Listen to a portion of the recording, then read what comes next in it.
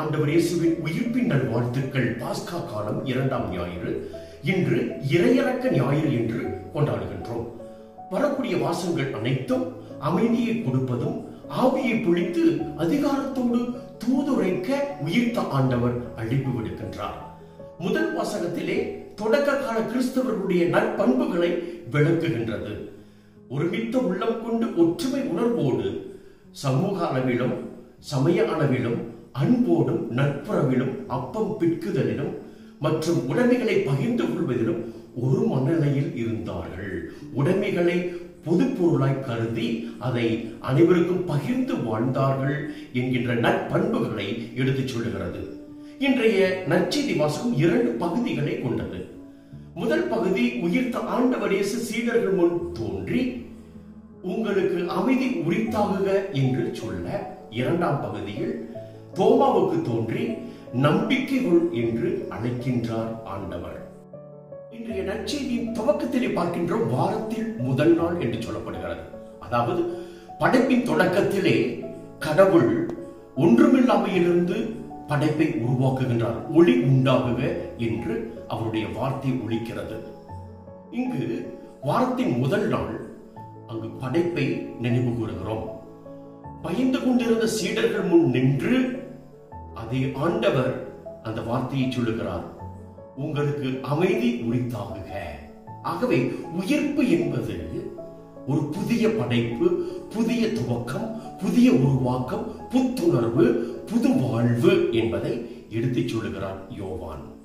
அமைதி என்ற சொல் ஷலோம் என்கின்ற எபிரேய சொல்லிலிருந்து வருகிறது. ஷலோம் என்றால் அமைதி பீஸ் இது பகைமையை பிரச்சனை அல்லது போர் இல்லாத ஒரு நிலை மட்டுமல்ல மாறாக அரசியல் சமூக பொருளாதார சூழ்நிலை ஒரு வளமை காண்பது flourishing at all ஆகவே அமைதி என்பது பிரச்சனை அற்ற ஒரு நிலை அல்ல பகைமை அற்ற ஒரு நிலை அல்ல போர் இல்லாத ஒரு நிலை அல்ல.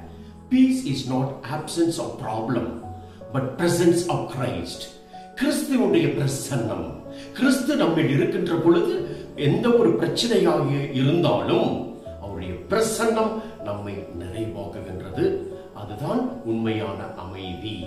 இதைத்தான் பவுலடியார் எபேசியர்களுடைய திருமுகத்தனம் இரண்டாம் அதிகாரம் பதினான்காவது வசனத்தில் சொல்லுகிறார். அவரே நமக்கு அமைதி அருளக்கூடியவர். இரு குழுவினரையே இருக்கின்ற பகைமையை தகர்த்து தன்னுடைய உடலில் ஏற்ற துன்பத்தை கொண்டு அதை தகர்த்து நம்மை கடவுளோடு ஒப்புரவாக்கினார். அதுதான் அமைதி. இரண்டாவதாக தோமாவை பார்த்து ஆண்டவர் சொல்லுவது நம்பிக்கை அற்றவனாக இராதே நம்பிக்கை கொள் கண்ணால் காண்பதை விட காணாமல் நம்புவோர் பேறு பெற்றோர். Those who don't believe no explanation is possible. For those who believe no explanation is necessary. கடவுள் நம்பிக்கை கொண்டோருக்கு விளக்கம் கொடுப்பது என்பது அவசியமில்லை. கடவுள் நம்பிக்கையற்றவர்களுக்கு விளக்கம் கொடுப்பது என்பது சாத்தியமில்லை. ஆகவே நாம் நம்மிடம் கொள்வது நம்பிக்கை. ஆண்டவர் உயிர்த்து விட்டார். என் ஆண்டவரே என் கடவுளே என்று தன்னையே அர்ப்பணிக்கின்றார் நாமும். கடவுள் மீது நம்பிக்கை கொண்டு என் ஆண்டவரே என் கடவுளே என்று ஒவ்வொரு நாளும் அறிக்கையிட அன்புக்குரியவர்களே இயேசுடைய பிறப்பு முதல் இறப்பு வரை அவருடைய போதனை பணி வாழ்வில் மையமாக இருந்தது. அடுத்தவருக்கு அமைதியை வழங்குவதே. அவருடைய பிறப்பிலே நாம் பாடுகின்றோம் சைலண்ட் நைட் இரவின் அமைதி. அந்த இடையர்களுக்கு அந்த வானதூதர் சொன்னது மண்ணுலையில் நன்மோதோருக்கு அமைதி உண்டாகுங்க.